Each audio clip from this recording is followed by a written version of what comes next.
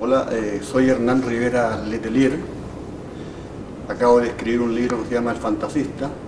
Es una novela de fútbol, pero es una novela que cuenta un partido de fútbol en el desierto, en el desierto de Chile, el desierto más inhóspito del planeta, donde yo vivo y trabajé más de 30 años.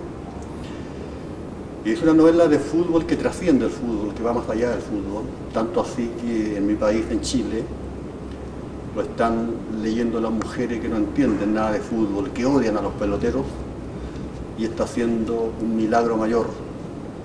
Eh, los futbolistas están empezando a leerlo, y eso eh, es impagable.